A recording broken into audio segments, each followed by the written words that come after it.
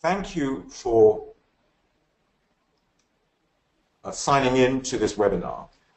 So I'm now going to present the program, and you will have the opportunity to also type in some questions that I and the rest of my team will then answer. Who should attend this program? This program is designed for recently appointed general managers and also those aspiring to soon take on a general management role. So either you've just been promoted or you're hoping to get promoted in the next couple of years. And you'll typically be a functional ready. You could be from any sector or industry and be based anywhere in the world. And in fact, we are trying to get a very diverse mix of uh, industry sectors and countries, which of course makes the classroom experience much more interesting. The benefits to you from this are enhanced confidence in dealing with C-suite executives. So one of the challenges for someone becoming a general manager is that you're now going to be interacting with a more senior level of people and the people at the highest level corporate functions, the chief executive officer, chief financial officer, chief marketing officer, and so on. So becoming a complete executive, and we emphasize this is what we help you to do, become a complete executive, you gain a broader knowledge of all the functional issues that affect a general manager. Because, of course, so far in your career, you have developed primarily within a single function. So this program in two weeks will give you a top-level view of all the key functions involved in being a general manager. And in a few slides' time, I'll show you all the topics that we're going to cover. Then, a special aspect of this program, given that we're at the Imperial uh, College of Science and Technology, we are going to give you an understanding of technology trends that are affecting your business, and perhaps even more important, how to think about using technology to enhance the competitive advantage of your business. And again, I'll explain that a bit more in a couple of slides' time. Another benefit is that you will access the Imperial College network, including our executive education alumni status, which is one of the most valuable uh, alumni network in the world. And it gives you a rare opportunity to take two weeks out to develop and reflect on not only your business, but yourself. Time to really get away from the day-to-day and think strategically about your business and the development of your own career. And at the end of it, you'll get a certificate from Imperial College, which is a top 10 global university. Now, those were the benefits for yourself. What about the benefits for your organization? Your organization will get you coming back to work with increased confidence because you've been exposed to the key challenges of general management. The uh, organization will also get the benefit of the transfer of knowledge about frontier knowledge and business issues. And you'll be there to help transfer this knowledge to the rest of the organization. You'll be applying your enhanced leadership skills, and we place a big emphasis on leadership skills within your workplace. And you'll bring back a broadened functional industry and geographic perspective to your organization. So after the two weeks of reflection and self-discovery, you'll return to your organization motivated, and inspired. Now, what is unique about this general management program? Because, of course, many business schools have a general management program. Like the others, we've designed this to be the capstone, the highest level of our executive programs. And as I said before, our general management program turns functional directors into complete executives by broadening the participants' knowledge on key functional issues and will increase your confidence to have smart conversations with uh, C-suite executives, such as chief technical officers, chief financial officers, and so on. And then our program goes one step further. We are going to pair expert scientists from Imperial College, beyond the business school, with our world-leading business professors to show you the effects that new technologies are having on your business right now and also in the future. Another aspect of this is that our program applies our impact lab philosophy, where we use Imperial's physical resources and scientific expertise to deliver a cross-disciplinary and experiential learning experience. This means you won't just be in the classroom all the time, you'll be uh, going to other venues, uh, some of them may be scientific labs, uh, some of them are in our partner schools. So we give you a chance to also prepare for the future in a technology-driven world. Now let's look at the program. So the first three days start with sessions on science. So each half-day session will have a scientist speaking about his or her specialty with an Imperial College business professor sitting in, and after the scientist leaves after the first hour and a half, the business school professor will take over and discuss the implications for business in an open discussion with the participants.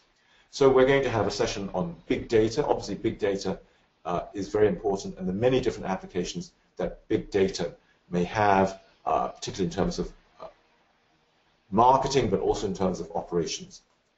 Smart cities and the Internet of Things. As you know, the Internet of Things is a new technology. We're going to discuss the general applications and particularly in terms of making cities smart. And of course, sitting in one of the world's, located in one of the world's most important cities, we are going to have some very interesting applications that we can show to you. On the Tuesday, we're going to start with robotics and artificial intelligence. It is clear that these two technologies are going to have a very big impact on business uh, from manufacturing all the way through to uh, research and many other things. What are the jobs that are, can be done by robots in, instead of uh, human beings, for example? What are going to be the applications of artificial intelligence? In the, four, in the fourth session, on Tuesday afternoon, we're going to look at neuroscience applications, which of course has many implications for products related to human health and to human behavior. And then the last session will be on uh, Wednesday morning when we talk about new materials. There are many new materials being developed that have a lot of implications for products and for manufacturing. So those are the five science-based sessions. We'll then move on to a session that I'm going to talk about myself, globalization. And now let me introduce myself. So I'm a professor of marketing and strategy here at Imperial College Business School, but my research specialty over the last 25 years has been on global strategy. And I've also taught at uh, Harvard Business School, uh, UCLA, um, London Business School, Cambridge University. And I've spent the last four and a half years at the top business school in China, where I've been conducting innovation, uh, research about innovation in China. And I've this week published a new book on that topic. So I'm going to talk about globalization and international business, but that is such a broad topic. I'm going to talk about it in the context of a single topic of innovation in China and how innovation is allowing Chinese companies to move from imitation to becoming world-class competitors. Then let's look at the rest of the program. On Thursday morning, we'll look at digital platforms and innovation ecosystems. Uh, platform strategy is now a new type of strategy where companies such as Google are now competing on platforms, and indeed a major source of the reason why Apple was so successful wasn't just that the iPhone was a superior product, but the iPhone was able to create a platform with the apps, with the companies designing the apps. So we'll learn about how digital platforms and innovation ecosystems can be used to build competitive advantage for your company. We will then have two sessions on finance for general managers on the Thursday afternoon and on the Friday afternoon where we'll look at all aspects of finance, but not in terms of becoming a finance specialist, but how you as a general manager need to understand finance, including how to relate to shareholder value. as a functional manager, you have not particularly been involved with uh, helping contribute to shareholder value. As a general manager, you will have to do this. Then on Friday morning, we'll look at marketing in the digital age. So not just marketing, but how digitization, uh, new media, and all of those aspects are changing the nature of marketing. On Saturday, we will look at the new leadership. Leadership in the new economy, flatter organizations, again related to digitization and the internet. We can no longer have command and control, but how are we going to lead in the new economy? And particularly with millennials and the newer generation who don't want to be told what to do. In the afternoon, we are bringing a uh, world champion in rowing, um, a, a, a woman champion in rowing. She's going to talk about how to be a leader in the boathouse as an example, and we will go to a boathouse to see how that actually works.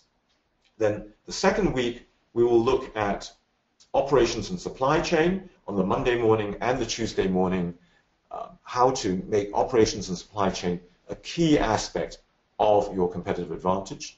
On the Monday afternoon, we'll look at digital transformation. Again, how do we use digital technologies to transform your business as more and more companies are doing that? On the Tuesday afternoon, we will look at entrepreneurship, not entrepreneurship, but how to be entrepreneurial within an organization. On Wednesday morning, I will come back and teach again on strategy execution and strategic transformation. It is not enough to formulate a strategy. Perhaps the most difficult aspect is how to execute the strategy. And then secondly, how do you transform a strategy? And again, most companies are not very good at strategic transformation, and many of them fall away, such as Nokia. How do we avoid the fate of Nokia? On Wednesday afternoon, we'll talk about managing innovation. And again, innovation is a key strength of Imperial College Business School, so you will see some of our uh, top research on that. We will, uh, on Thursday morning, have a second session on marketing in the digital age with a different instructor. On Thursday afternoon, we'll have corporate governance, again from the viewpoint of the general manager. What are the different aspects of corporate governance that you need to know about, including how to relate to the board of directors? And we'll finish up on Friday morning uh, with leadership managing the 2.0 organization. And that, including the previous Saturday session on leadership, will be by Nelson Phillips, Professor of Management and Organization, who is the co-director with me on this program. I'll be with you throughout the program, and Nelson will be with you for some of the program. So lastly, some details on the program. It will run for two weeks from the 16th to the 27th of May at our South Kensington campus in London. The fee is £13,145. And lastly, the logistics will have a dedicated program manager. We've planned many interesting evening events as well. So this is the end of uh, my formal presentation. Now's your chance to type in some questions for me to answer. Please go ahead and do that now.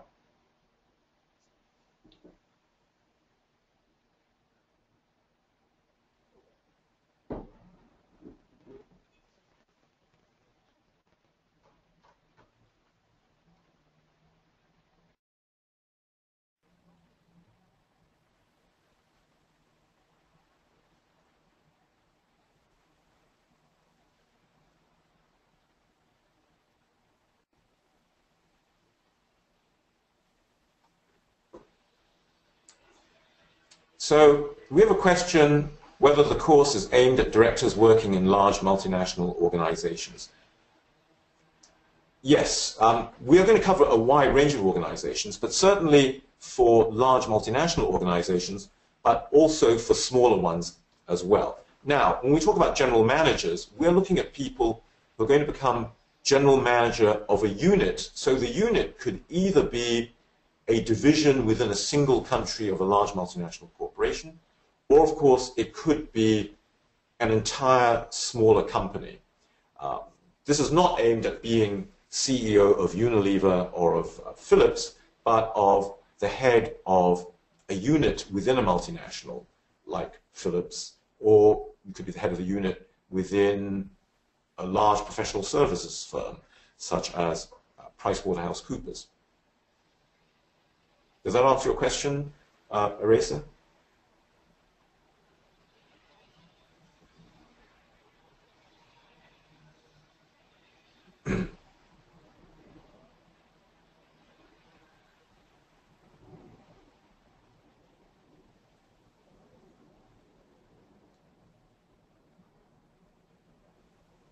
One more minute for any more questions, otherwise we'll end the webinar